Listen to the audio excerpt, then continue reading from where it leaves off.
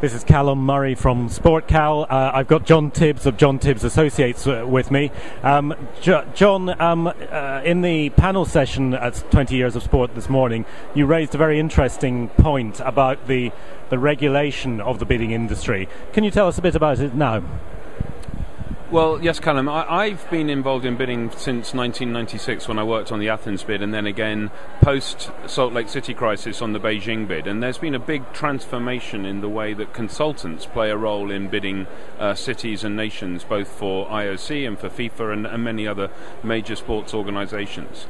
And there is now a big, sophisticated market of consultants across every aspect you care to think about, whether it's from master planning and architecture through to um, the, the whole bid communication strategy, to lobbying, to research, to intelligence gathering, you name it, uh, there is a sector for a consultancy in there. It's confusing for the rights holders, it's confusing for the bid cities and nations, um, and I think it's time that we actually uh, created some clarity and some good order um, and, uh, and best practice within the consultancy world in bidding. And therefore, I propose today that um, fellow consultants like my, my own company should get together to form a self regulatory body which would be uh, create our own code of conduct based on the code of ethics from the organizations that we uh, work um, closely with, such as IOC and FIFA, and where we would create some clarity and understanding for the sports world out there exactly who we are, what we do, and how we add value, and how we can work closely with them in an ethical and proper manner.